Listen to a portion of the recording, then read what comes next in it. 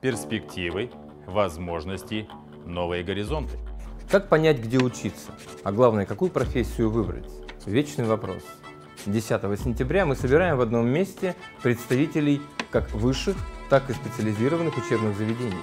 Познакомимся и пообщаемся с представителями образовательных учреждений. Зададим им накопившиеся вопросы. И, наконец, обменяемся опытом с другими родителями. Предоставим новые возможности для профориентации подросткам и выбора дальнейшего места обучения. Приходите в школу 10 сентября, чтобы понять, куда двигаться дальше.